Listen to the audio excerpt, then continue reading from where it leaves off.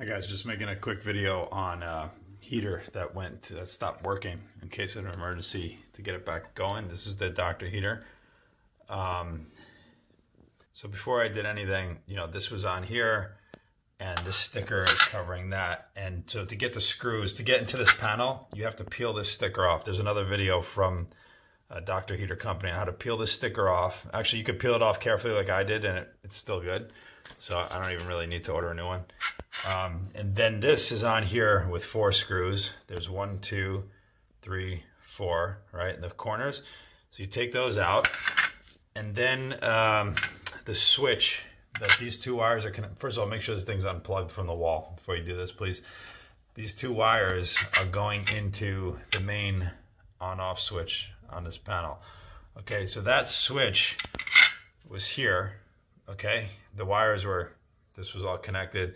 Um, I tried all kinds of tuner carbon uh, uh, contact cleaner and it wasn't working, wasn't working. I started taking the switch more and more apart. Eventually the switch just fell apart into all these little pieces. So I said, you know what, let's give up on the switch. I'm just gonna take these two wires. So I, I um, spliced them a little bit, took off some of the uh, insulation. I'm just gonna twist them together, put a wire nut on, and we're gonna see if it works.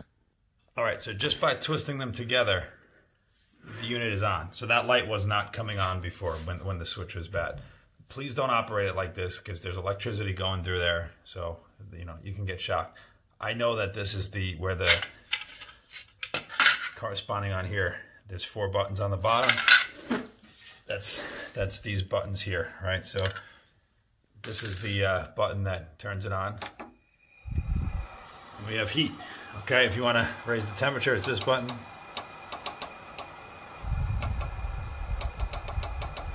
Okay, 78. Now listen, uh, if you're gonna do this, at the very least, put a wire nut over it. So I'll show you what I mean. This. Okay, so now we have a wire nut over it. We don't have to worry about getting shocked. And um, we can go ahead and turn it on again. Raise the temperature. This is the temperature down. So if you want to know what, what does what, you can just look here. So the rightmost button is mode, and you have up, down, and then you have standby, which I never use. I mean, basically, all that top button is doing where these two wires that, that I spliced together, that was your main power button. So now what happens is power is always on. So when you plug it into the wall, the unit is on. Uh, this particular unit doesn't start right up anyway when, when you plug it in. Um, it goes into standby mode, as you saw when I had to raise the temperature. So you could operate it like this for a little bit. I mean, it's obviously not safe. Don't don't do it. Uh, but in an emergency, you can do it. And this is this has got me going. And uh, you know, basically, um, I'm gonna order a new switch from Dr. Heater, install it, and put it all back together. But uh, I just wanted to put this out there in case anyone has the same kind of issue. All right, hope you like this one. Uh, please like it, share it, subscribe, all that stuff. And uh, I'll see you on the next video. Thank you.